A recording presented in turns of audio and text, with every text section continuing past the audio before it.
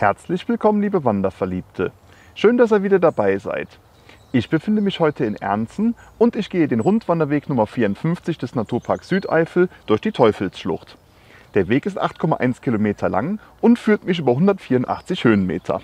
Und wenn ihr wissen wollt, wie die Strecke so ist, dann bleibt dran.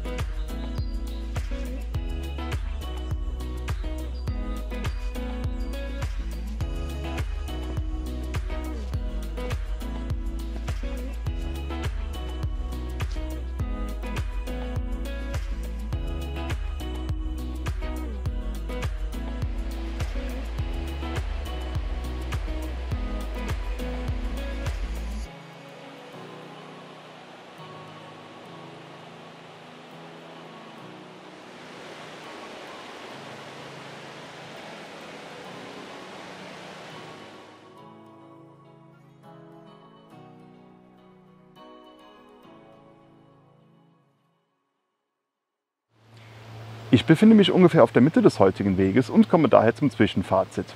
Momentan bin ich noch so ein bisschen zwiegespalten, was den Weg angeht, denn einerseits muss man sagen, dass die Gegend hier wirklich sehr schön ist. Es gibt hier schöne Waldwege, kleine Bäche, schöne Felsen, das gefällt mir alles sehr gut. Ich muss allerdings auch dazu sagen, dass ich vor ein paar Jahren schon mal hier war. Da bin ich den Rundweg Teuflische Acht gegangen. Und damals ist man noch mehr durch die Teufelsschlucht gegangen, noch mehr durch diese Felsengänge hindurch. Das fand ich noch so ein bisschen spannender. Das ist mir heute ein bisschen zu kurz gekommen bisher. Und dann muss man natürlich noch dazu sagen, dass 2021 die Flut hier ihre Spuren hinterlassen hat. Gerade hier bei den Irreler Wasserfällen, da ist die komplette Brücke weggeschwemmt worden. Und auch ein Teil des Wasserfalls ist jetzt äh, ja so ein bisschen deformiert. Das hat mir jetzt nicht ganz so gut gefallen, aber da kann der Weg natürlich nichts dafür. Aber trotz alledem, wie gesagt, ist mein Fazit so ein bisschen durchwachsen. Ja, wir sind ja jetzt hier in der Nähe von Bitburg und deswegen trinke ich heute mal ein Bier aus der Bitburger Braugruppe. Allerdings kein Bitburger an sich, sondern ein leckeres Köstritzer. Ähm, das habe ich zu Hause schon mal ein paar Mal getrunken. Es handelt sich dabei ja um ein Schwarzbier. Ihr könnt ja mal schreiben, was ihr von Schwarzbier haltet. Ich bin eigentlich, was das angeht, relativ aufgeschlossen, mag das als Abwechslung ganz gerne, auch wenn ich normalerweise die hellen bevorzuge. Naja, in diesem Sinne, Prösterchen.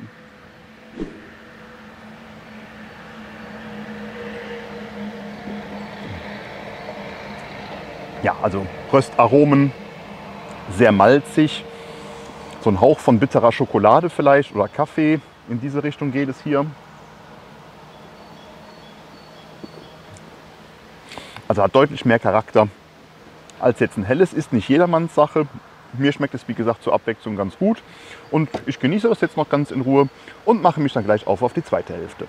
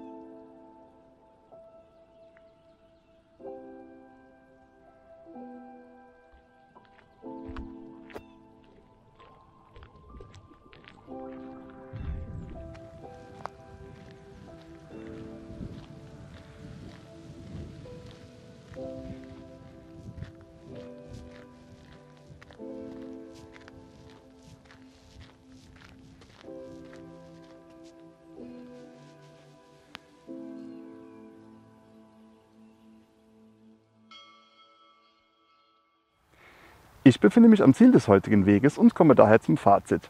Die Strecke lässt sich beschreiben als eine kurze Waldwanderung, die sowohl über schmale als auch über breite Wege verläuft. Am Schluss geht es nochmal kurz über Felder und Wiesen sowie durch den Ort Ernzen. Ja, als Tipp hätte ich für euch, dass ihr diese Tour auf jeden Fall nicht am Wochenende macht, sondern unter der Woche wie ich, da hier am Wochenende aufgrund des Dino-Parks sehr viel los ist. Das wäre dann auch mein nächster Tipp, falls ihr mit Kindern hier seid, dann wäre der Dinosaurierpark etwas für euch. Und last but not least, wenn es euch auf die Felsen ankommt wie mir, dann wäre es vielleicht eine Alternative, eine andere Route hier zu nehmen, bei der der Felsanteil noch höher ist. Ja, das wäre dann gleichzeitig auch mein größter Kritikpunkt an dieser Strecke, dass die Felsen so ein ganz kleines bisschen zu kurz kommen. Und dann muss man auch noch sagen, die letzten zwei Kilometer sind auch nicht sonderlich spektakulär. Was mir hingegen gut gefallen hat, das waren die Reste des Irreler Wasserfalls, dann auch natürlich die schönen kurzen, schmalen Waldfahrtabschnitte sowie die spektakulären Felsen. Unter dem Strich erhält die Tour daher von mir 7 von 10 Punkten. Ja, wenn euch das Video gefallen hat und ihr auch weiterhin Wandertipps erhalten möchtet, dann wisst ihr, worüber ich mich freuen würde. Abo, liken, kommentieren. Werden wir mit einem Herz quittieren.